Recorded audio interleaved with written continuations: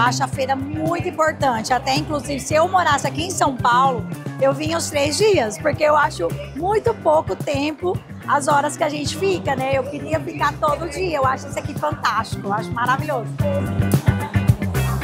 Estar dentro do, da Feira do Empreendedor traz para mim as soluções que eu preciso, porque tem vários outros empreendedores aqui.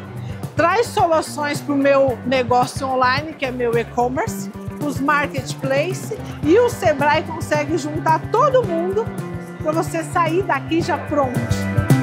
Para nós, pequenos empreendedores, essa feira é um divisor de águas, na qual você pode fazer muito network, mostrar o seu produto, conhecer uma outra vertente, coisas que nós não conhecemos, é, adquirir sabedoria e condições para que o seu negócio possa crescer. E eu tenho certeza que a partir dessa feira, a da Nega não será a mesma.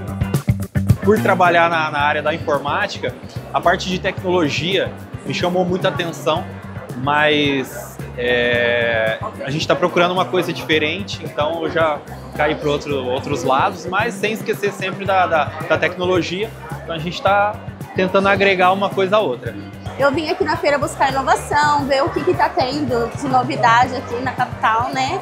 E eu encontrei o que eu buscava, né? Fiz os meus conteúdos de podcast, contei um pouco da minha história ali em alguns estandes do Sebrae. Aqui na Feira do Empreendedor 2024, vão encontrar inúmeras oportunidades de negócios, fazer parcerias, aumentar sua rede de contato e com toda certeza encontrar novos parceiros de negócio para melhorar o teu faturamento, a sua competitividade.